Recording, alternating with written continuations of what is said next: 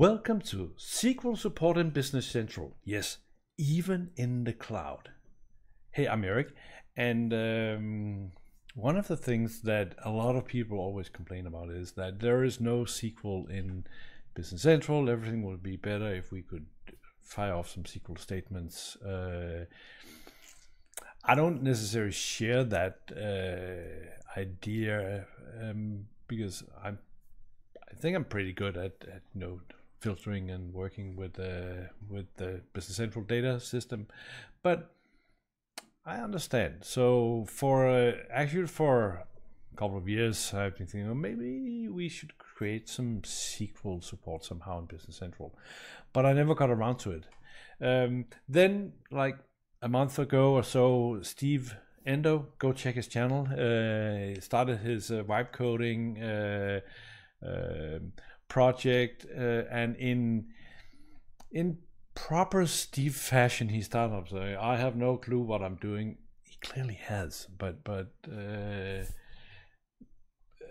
he uh, he dumps it down for for the rest of us. Uh, but it kind of got me thinking okay hang on. What if I approach this with the uh, no, the reverse Uno uh, card on Steam. Say, I, I know what I'm doing.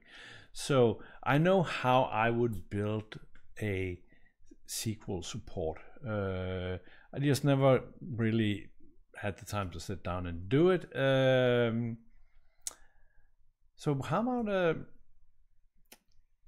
I do it by the help of uh, some AI stuff. Um, so I did and uh, I'm not gonna walk you through the process uh, because that's not what we do here necessary in, in this one. I'm gonna I'm gonna show you the result and then we can talk about the, whether this is useful or not.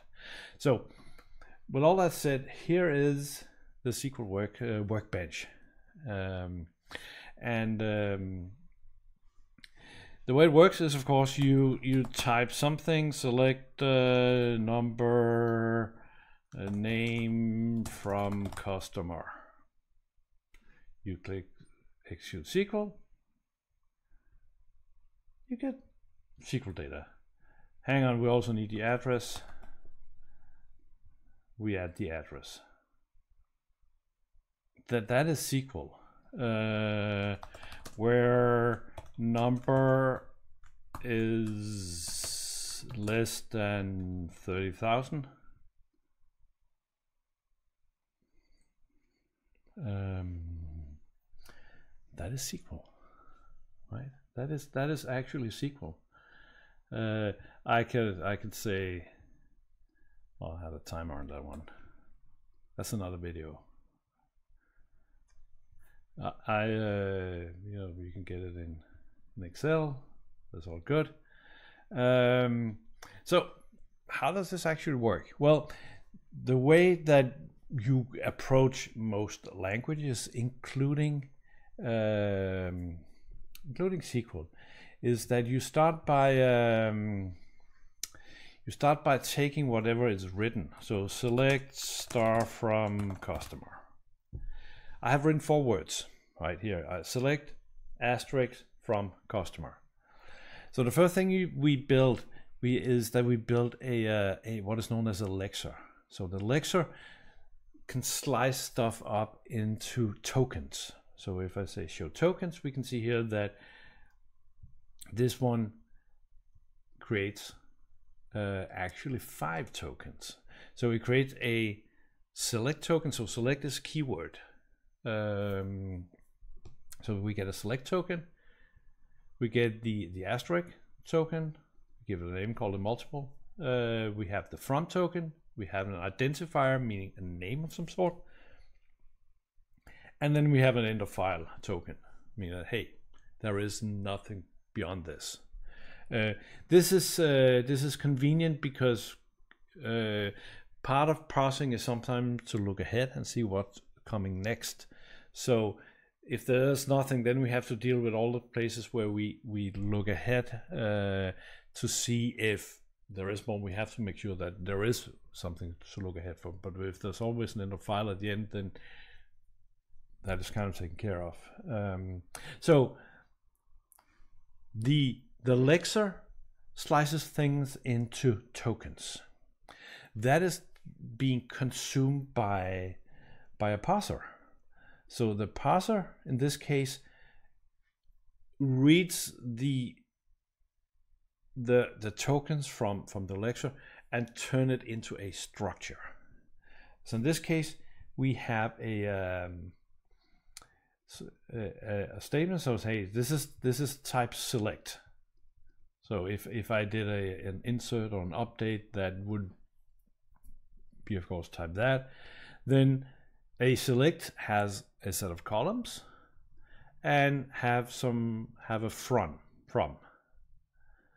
Um, so this is the input to the SQL runner. So so we have kind of three layers. We lex, we parse, we run. Um, and and if I go here and find my uh, my thing, we can see that I have a lexer, uh, and the lexer turns things into tokens, uh, and and we can see that we know a lot of keywords. Um, we have a parser. The parser will uh, take a list of tokens, and then it will start looking at what kind of statement it is, and then parse that. Uh, this is basically no different from how I built the uh, the AL compiler inside AL. And then finally we have the SQL runner. This one we even I even got the AI to start documenting it, um, which take the past output. So let's uh, let's uh, see what what this thing can do. So, well, select asterisk from customer. Um, but then we got all the uh, we got all the fields. Um, we could uh, we could get more advanced here. So let's do select, um, and I'm gonna do customer dot number. Some of you might already know where I'm I'm, I'm going with this.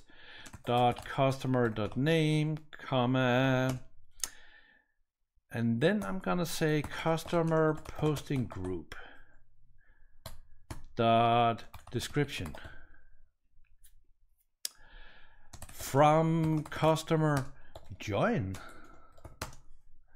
Uh, customer post posting group uh, on customer. So hang on select Duke Duke Duke from customer join customer posting group on customer dot customer posting. Why did I not select something else easier to do? Customer posting group equal customer posting group dot I think the field is code. Um, so number name and customer posting group. Execute. Boom Maybe we need to see the customer posting group here also. So let's just add that in customer dot customer posting group. There you go, something like that. Yeah, big, very big customer, domestic, domestic, foreign, foreign. Um, so that worked pretty well, actually. We could also um, see now while we have customer 60 so let's uh, let's we, let's uh, let's do insert into uh, customer um, and the first thing is that we need to add you know what columns are we inserting in? That's kind of weird but let's number name and we select values and we'll insert uh, 70,000, right? Um, and and and right now I I have made this being very forgiving that I know customer number is technically a code. Uh, but if if if it gets a number and it's a code field, it'll just put it in anyway. Just hey. So then uh, YouTube. There you go. Something like that. Execute SQL. Row affected ones. Uh, I'm just gonna copy this into a clipboard somewhere. So now let's do select as select name from customer. Execute. We got a new customer.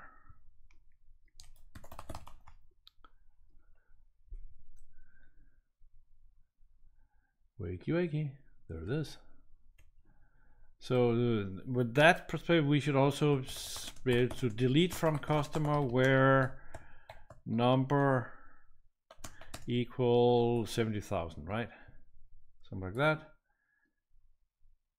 Row affected once. Um, it's gone again. I don't know why we have two Peters. So, so that is delete. Um, but let's uh, let's just insert that guy again. There, insert row affected once. So now we got 70,000. So now we could do an update customer set name equal um, Otto Nilsson, uh, where number equals 70,000. rows affected ones, customers, boom.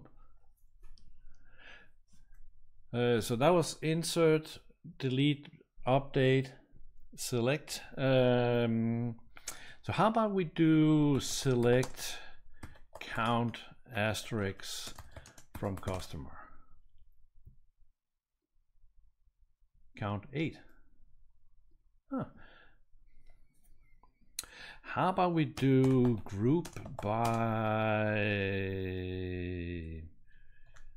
customer posting group? That's, that's only the one. Uh, then we should probably in, select the customer posting group, right? Customer posting group. One one big, four domestic, one foreign, and two blanks. Um, how about we then add and say, how about we do comma sum, what's the field? Um, sales LCY. I think that's how the, the field is. Something like that. Boom. So now we're getting into something that's potentially useful, right? So now sales by um, sales by customer group. Um,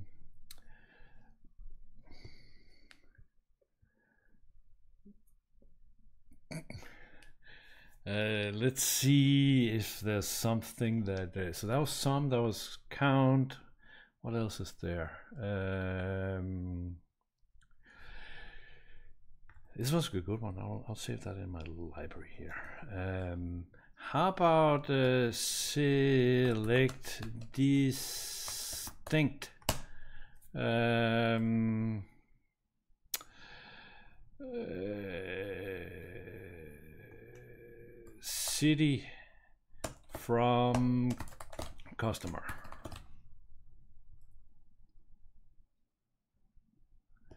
Uh, I may be able also to add a count here. How about an add a count?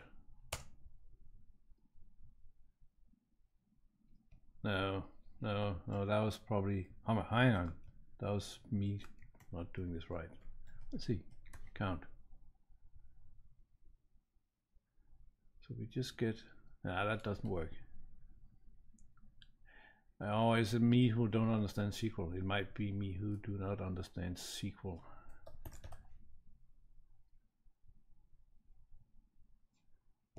Uh, that that's distinct. That's distinct. Yeah.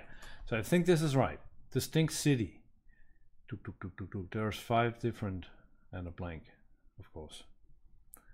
Um, you see, I actually what I did here because I uh, I we have a select with or that works. What other things did I add in my little test here? Uh, top, my select top three. Uh, by doesn't work very well um, yet.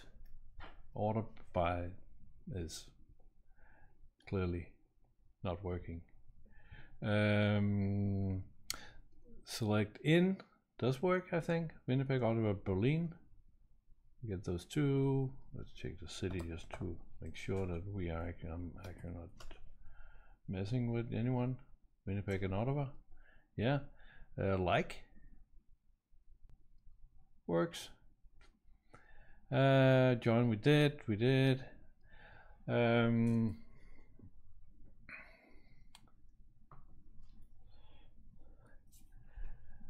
is this useful? Um, so, so my original idea uh, was, uh, hey, at some point I will I'll sit down and, and build this, and then I'll, I will add it to the toolbox uh, as kind of here perhaps slightly more polished and. Uh, you know, instead of the Microsoft multi-line, I will add, add in my own uh, control so we can have um, IntelliSense. Uh, just like the toolbox has AL IntelliSense, then we could also add SQL IntelliSense. Um, and instead of outputting this as um, just output the JSON. You should, of course, have a, uh, some a nice table structure uh, where you can see it. Um, still, you know, export to to SQL um, works very well. Um, but imagine if we kind of had this thing down here. Um, so yeah, but um, let me know in the comments below. Is this is just just a gimmick? I I completely accept that comment. This is just a gimmick, Erik, and, and go back into your basement. I'm already in the basement, uh, and and actually create something useful. Um, or is this actually useful? Uh, let me know in comments below. Um, check out this video. More AL hacking going on here for sure. Maybe not SQL, but something else. Very exciting. I'll see you there. Take care. Bye.